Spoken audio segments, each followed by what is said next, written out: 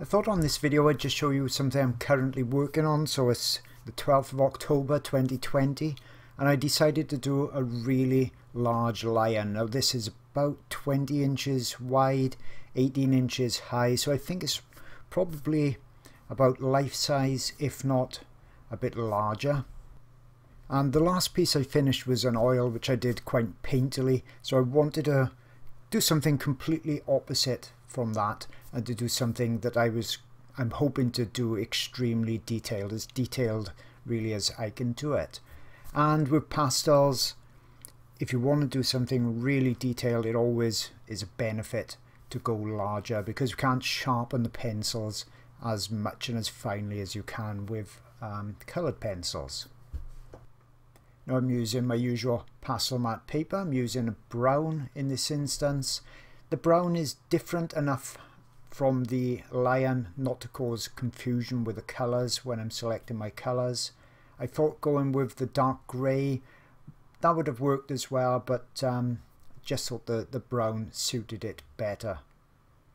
Now the area I'm working on at the moment you can see I've just put an underlayer down and I've done that mostly with Panpastels and also a little bit of um, soft pastel stick as well just to get the basic tonal value down on there and the basic color and then I'm coming in with my pencils adding the details on top the haze the little clumps of haze as well. So it's important to go dark enough on the base layer that you can see these lighter haze going on top but you don't want to go so dark that you then can't attain the lightest of the light areas that you're going to put on top.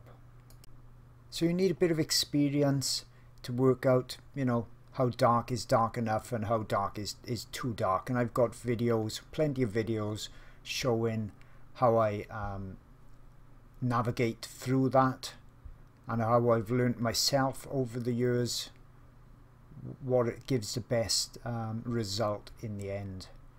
And now notice when I'm doing these strokes, they're not all regimented like soldiers in a row.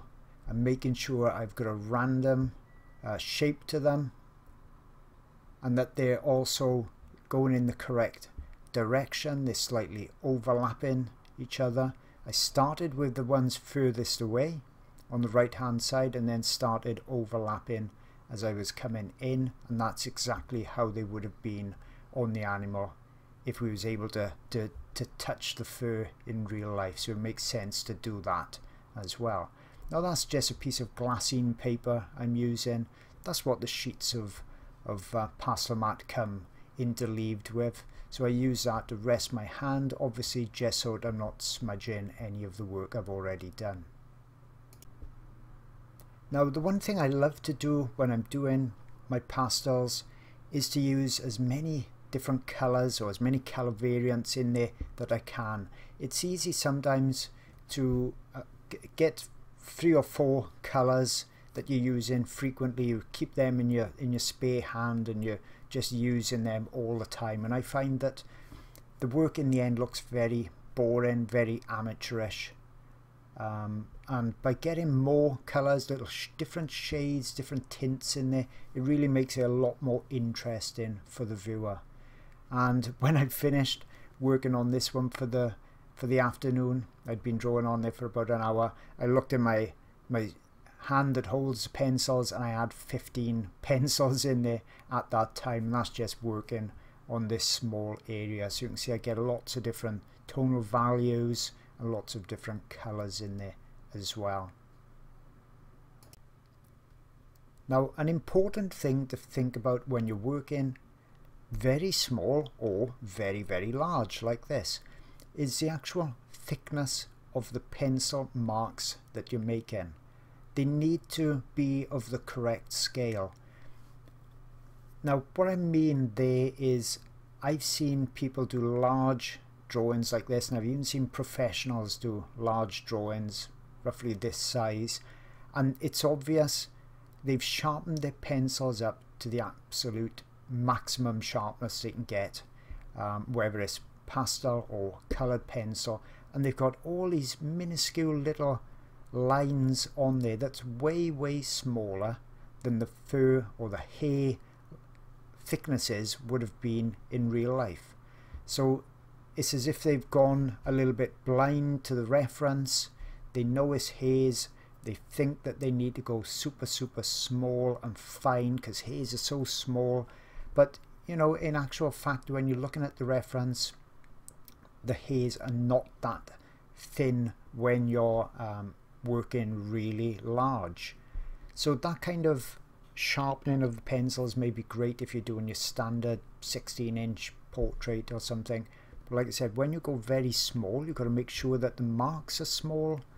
When you go large, then I'm using, as you can see, quite blunt pencils. I want the marks to be thicker, larger. I don't want all these tiny, tiny little hairs on there.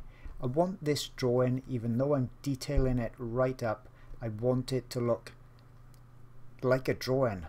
Have a slight painterly um, look to it so that when you stand back 10, 15, 20 foot or more, it looks very realistic.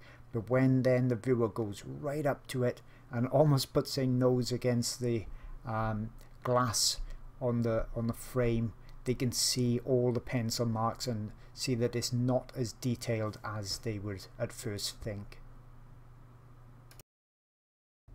Just wanted to quickly mention my Patreon channel for those looking for even more in-depth art instruction. It's packed full of pastel videos, oil videos as well, and those videos are being added to new ones every single month. I have videos for the complete beginner that have never done pastels or oils before with just limited supplies and I take you from the very first blocking in all the way through to the final detailed drawings and paintings. I've also got some really unusual subjects as well and in all of my videos I always take you through all the details. You see everything I do, how I create my work. But it's not just for beginners, it's also for novices and I also show the best artwork that I've ever done as well. And this particular elephant video spans six hours so you know you're going to see tons and tons of details, tips and techniques. And as mentioned, I've got lots of oil videos on there too, so there really is something for everybody. And you get access to hundreds of hours worth of videos for just $4. Now over a thousand members strong, Hope to see you there soon. Now it's important when you've got areas such as the one I'm working on now that um, you're able to get the, the vibrant bright colours that, that's required in that area. Now that means don't oversaturate the paper with your pastel pigment. Don't go put in real heavy strokes down early on. You can see I've got some real darks in there as well that I'm weaving in between with my lighter pencil strokes. Now, if you'd thought perhaps you should have gone really, really dark in that area, as black as you could, and then keep layering the colours on top, well, that'll work up to a point. But up to a point, and beyond that point, you'll find you won't be able to go light enough. Okay because the pastel that's in the base layer is always going to contaminate the pastel you put on top to some degree. And if you want a line to be very very bright you don't want too much dark pastel or in fact any real dark pastel underneath it. So you can see I'm just still building up that texture, that fur texture Remember, in nature, there's many, many layers underneath the layers that we see on the surface. And we create that in the drawing so that we've got that same appearance, that realistic thickness of the fur and the hair on our flat surface, on our flat paper.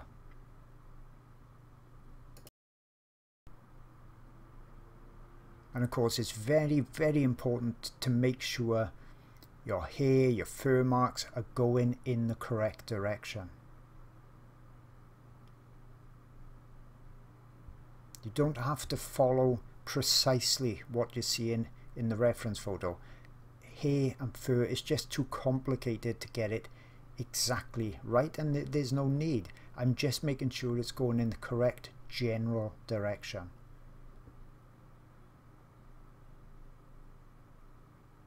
Now when I want a subtle mark, I'm just pushing very lightly or putting very light pressure on the pencil. When I want a more distinct, more vibrant mark, I'm using more pressure on the pencil. And you see as well how after every stroke or two I actually rotate the pencil. You see I do it quite quickly, it's automatic now because I've done it so many times.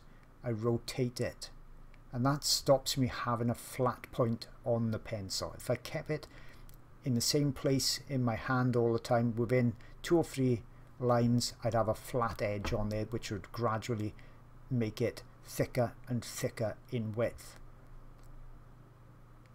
You see if you look at the shaft of the pencil you see me rotate it in between the strokes. So that's keeping that point quite cylindrical on the end. Obviously the pencil is wearing down all the time but because I'm doing that rotation I'm not getting the flat points on there. Now I've got loads and loads of videos over a hundred I think it is now on my Patreon art channel and I go into a lot of depth on all of um, my different subjects and there's lots and lots of different subjects on there but I thought you may just like to see something that I'm currently working on just to see how I develop some of the smaller areas. Here I'm using a new pastel stick to get some nice punchy dark blacks in. Now the new pastels are hard and you can sharpen them with a blade to a nice chiseled edge or, or even a pencil point. And as you can see the black is super black on there. When I'm doing my Patreon channel I don't hold any secrets back at all. You see everything that I do.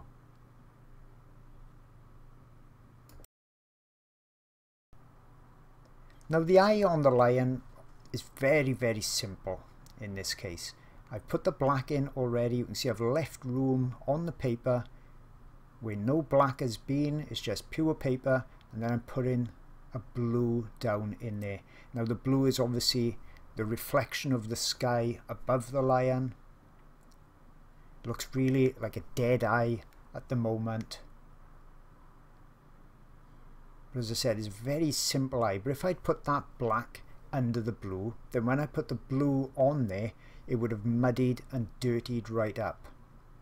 Okay, now we don't want that because you can't get it back then.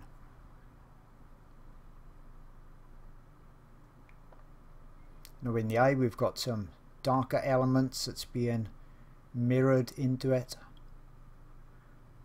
And you can see just by softening the edge as well, that's all of a sudden starting to give it a much more realistic appearance. So even when you're doing something as simple as this, you still got to study the reference photo. You can't just wing it and think, oh, I'll do it black with a little bit of blue. You need to you know, really study it and make it look realistic. Here I'm giving, showing one of my tips when I want something to be super vibrant and bright like a bright white. Around it I usually put some vivid pink. It just makes the white even whiter in appearance as you'll see when I put the white on next. It really makes it zing and I just let a tiny bit of that pink show around the edge of the white. Once again, my Patreon channels are full of little tips like this that make, I think you'll agree, it makes a real difference. Now I'm just going to touch up the blue a bit more. Add a little bit of a, a lighter colour here and there. And the eye really can be that simple. But with that highlighting, all of a sudden it gave it a glassy appearance. So I hope you've enjoyed this short peek into my studio today and perhaps picked up a couple of tips as well. If you're interested in uh, reference photos, copyright free I've got a website I'll put at the end of this video which has got probably around about a thousand or more uh, photographs that you can paint and draw from and then sell your work with no worries whatsoever. Also on a different website I've got instructional DVDs and downloads and of course that Patreon channel as well if you want the most cost effective way of um, learning from me with lots and lots of different subjects. As I said, there's about a hundred videos on there and from uh, $4 a month, so that's just a coffee or two, you can get access to half of them and for all of the videos, all different subjects, that's just $9 a month. So once again, hope you've enjoyed this little peek into the studio and I'll see you all again on the next video.